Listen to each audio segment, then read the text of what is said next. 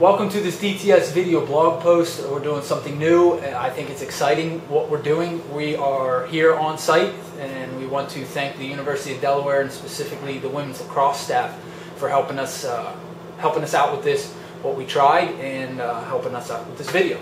So I'm going to pan and show you where we are. We are at, again, the University of Delaware, way up in their press box. You can see here. And we're going to take a look at using an Apple Extreme, which is that white box there, which is a uh, wireless networking device, a MacBook Pro and the new Apple iPad 2 how to break your video down live using these two, well, up in the press box, break down the video, on the MacBook Pro um, and then set up an easy user-friendly, I mean it's easy to set up, network between the MacBook Pro and your Apple iPad 2 and have the video shown all the way down on the field on the Apple iPad 2 from the MacBook Pro. Hope that makes sense. We'll show you the steps, so let's go ahead and get started. Let's get our MacBook Pro set up. First, we need to connect to the Airport Extreme. So you'll need to have that plugged in, uh, powered up, and when, if I just turn this off, if you turn on your wireless, it should pick it up. Now the name of your Airport Extreme will be different. We've gone ahead and given ours a name and added a password, which would be definitely something we'd recommend. Once your network is set up, we want to go to iTunes and turn on home sharing. To do that, you click Advanced and turn on home sharing You'll need to put in your Apple ID and password, and obviously, and here's a link if you're not sure if you don't have one.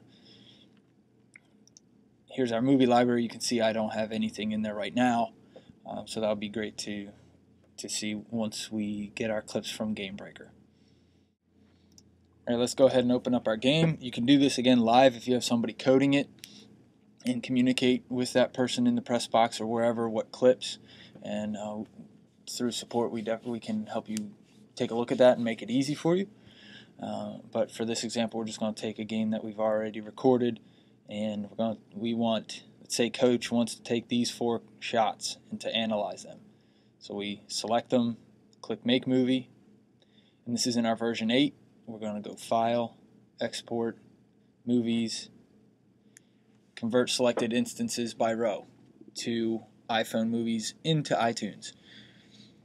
Uh, if this is going to be part of your regular workflow, uh, adding a custom shortcut to this would make it really, really uh, a lot faster than going through these menus. As you can see, I have one custom shortcut here. So once we click this, it's going to take these movies. If we had other rows selected, it would make separate movies. Right now, um, we're just going to select one. The time to export will vary based on how many clips you have, um, how long they are, um, if you're compressing the files while they're coming in, making them a lot smaller, a lot faster to transfer. Again, a lot of things that we can help you make uh, as quick as possible. So our movie pops up. Let's open iTunes. Just to show you, there is our movie now in our library, which wasn't there before. All right, we're going to head down and uh, take a look at the iPad where we are on the field and get that set up. All right, we got our video broken down up in the press box. Here we are down on the field with our iPad, and um, in a minute we're going to turn the camera around, give you an idea of how far we are, and then we're going to take a look at the iPad to how we get those videos from that laptop all the way up there to view on the laptop or on our iPad 2 down here on the field. Here we are on the field about the 50, pretty close to where we'd be standing. And there's our video, all the way up in one of those windows in the press box. Now we'll take a look at the iPad 2 in the video. Get our iPad set up here. So going to unlock. We need to first get connected to our Airport Extreme. So click Settings. Then you're going to go to Wi-Fi. If I set this back to off. Okay. Slide that back to on. Try to anyway and it should pick up your Airport Extreme. Again, we've given ours a name with a password. Uh, for security reasons, yours may just be a bunch of numbers until you have that set up. There's a, a number of tutorials on, on the web that you can check that out on how to do that. Now that we're done that, head back on our MacBook Pro. We've already set up the um, home sharing. So there may be a couple steps here because we've already set up our iPad that you need to go through. Again, check out um, some of Apple's tutorials on to how to do that. Click videos and you should see your library, which is ours is called Pete. Tap that. There's our movie of shots. Click on it. Click to play. And there's our clips of shots.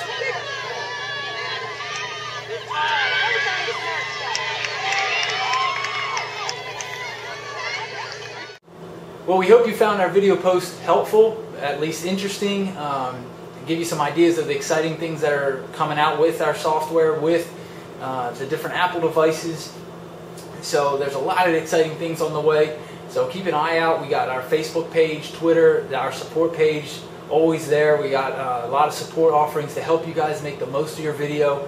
There's uh, Apple just announced that their new operating system's coming out, Lion. So we'll, we got new features that are coming out. We'll take a look at how that works with our software, make our lives even better, as well as an operating system update for your mobile devices, for your Apple iPad, all your iDevices. They also announced a cloud service. Not exactly sure right now what that all entails, but we'll keep you up to date here, again, through those different notification ways um, that we stay in touch with you guys, uh, as well as we hope to have our version 9 coming out sometime soon. Again, no dates, no specific features listed, but just stay here, stay on our post, stay up to date, and we'll keep you up to date.